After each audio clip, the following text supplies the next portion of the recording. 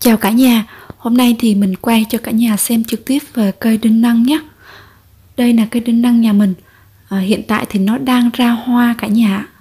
Cái hoa của nó thì mình à, uống rất là tốt. Các bạn có thể hãm trà nè, hoặc cũng có thể ngâm rượu nhé. Nó chữa mất ngủ rất là tốt luôn. Nhìn nó hao hao giống nụ hoa tam thất và cái công dụng của nó đều là chữa mất ngủ nha cả nhà nhé. Cực kỳ tốt và tăng cường sức khỏe nữa. Thường thường thì cái cây này khi các bạn trồng được 4 đến 5 năm thì à, nó mới già và nó bắt đầu nó ra hoa. Cây đinh năng nó là một loại thuốc bổ cả nhà ạ, giúp tăng cường lợi tiểu này, bổ thận này, lợi sữa, điều kinh này, làm co rút tử cung.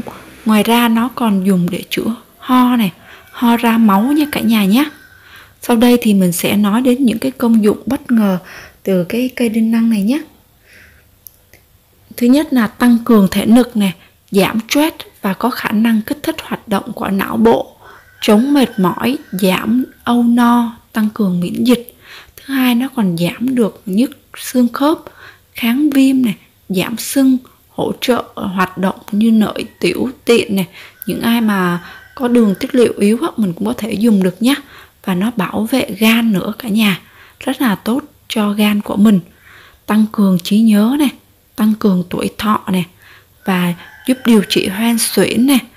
Ngoài ra thì nó cũng uh, có thể dùng làm thuốc bổ để chữa cảm sốt sưng hoặc là mụn nhọt này thân và cành cây đinh năng chữa tê thấp này đau lưng này đau nhức xương khớp.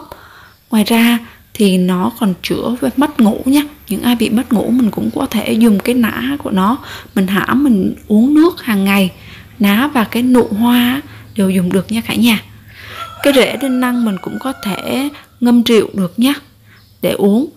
Vậy thì thật ra cái đinh năng mình có thể sử dụng được vừa lá này, thân, cành, rễ và cả cái nụ hoa của nó nhé nhà mình thì mình hay trồng đinh năng ở đây á, thì những cái lá non mình có thể hay dùng bức mình ăn sống nè, ăn cùng với lại à, đồ ăn nè, hoặc là ăn cùng với gỏi cá, rồi nem hoặc là những cái món thịt ngán á, mình cũng có thể cuốn với ná đinh năng mình dùng những cái ná non á ăn rất là ngon tốt và bổ nha cả nhà.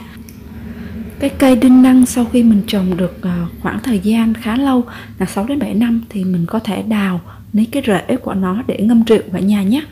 Đây là bình rượu nếp mình mới ngâm được một tuần cả nhà các bạn ngâm khoảng 2 tháng mình có thể mang ra mình dùng được về cái công dụng của cái rễ đinh năng thì nó cũng có công dụng tương tự, nằm à, bổ này, tăng cường sức khỏe, sức đề kháng này, giúp nội tiểu này, tăng cường hô hấp này, giảm stress này, căng thẳng và giúp cho giấc ngủ ngon và sâu hơn. Nên các bạn có thể ngâm để bồi bổ sức khỏe, tăng cường cái sức à, đề kháng của cơ thể nhé. Hiện tại thì shop mình đang cung cấp lá khô của cây đinh năng. Nếu như cả nhà có nhu cầu muốn mua thì hãy liên hệ trực tiếp với shop nhé. Video của mình đến đây là hết rồi. Cảm ơn cả nhà đã theo dõi. Xin chào và hẹn gặp lại. Bye bye.